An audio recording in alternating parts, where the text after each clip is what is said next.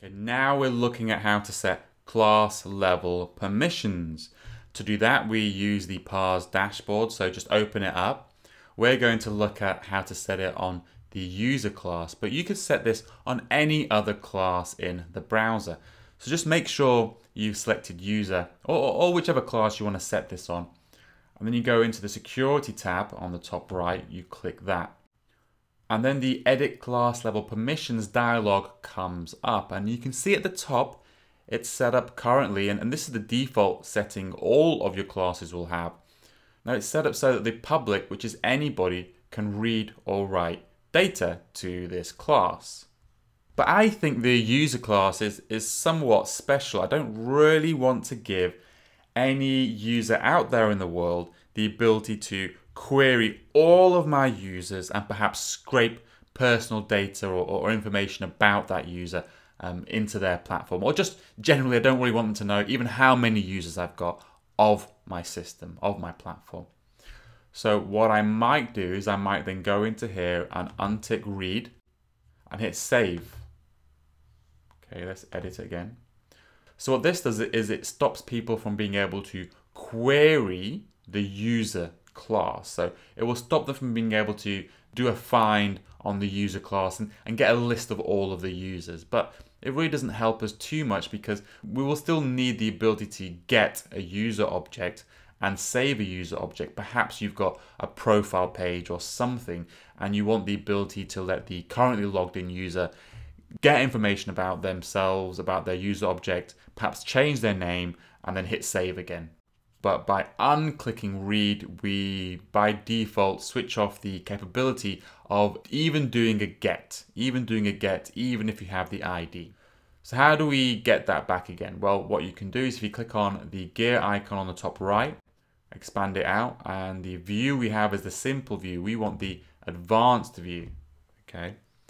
Now, when you click on the advanced view, you can see that we now have quite a few other options appear on the screen. A lot more granular control on the permissioning. So the key thing I want to say is that really what I want to stop is the find, is the querying. I don't want to stop people from being able to get specific user instances as long as they have the ID, which is what get means. If you have the ID of the user, you should be able to get it. So I'm going to do that. So I'm going to specify get.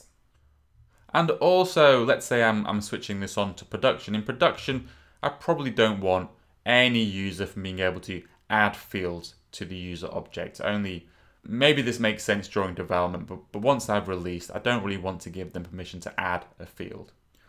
Now to persist this, just save CLP. Okay, and now when I open it up again, you can see the read has a, has a line through it, which indicates that it's kind of got some, it's not a tick and it's not empty, it's some, somewhat in between. So to see it, just click on the advanced tab again. Okay. Okay, so that's some settings which we set up for the public. What if we wanted to set it up so that perhaps an, an admin user, perhaps you as a developer, no matter what, you want to have find permissions and add field permissions, but just you, just you, the developer.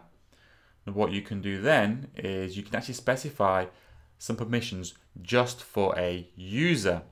So to do that, get a user ID, so get an object ID for a user. I'm going to just pick this one. Go into security, again, go in advanced if you want. And then you can just specify a specific user. There we go. And by default, they have get permissions on all the right permissions. A user will have that. But you can switch on and off their permissions for finding and adding a field. So I'm going to switch them on for this user. And then you just hit save. So now, if I go back into security, so now Joe Public will, won't be able to run queries or find on the user class, but this admin user particular in particular, they can run a find and they can add a field onto the user class. There's also this thing called a role here as well, and, and we'll cover that later on, but you can also specify a role and then say anybody who belongs to that role has these sets of permissions. So that's class level permissions, and that's something you can specify very easily just via the dashboard. It adds quite a lot of security to your application, but it's quite a high level of security. It doesn't really give you really low level granular security, which you get using access control lists, which we'll cover in the next lecture.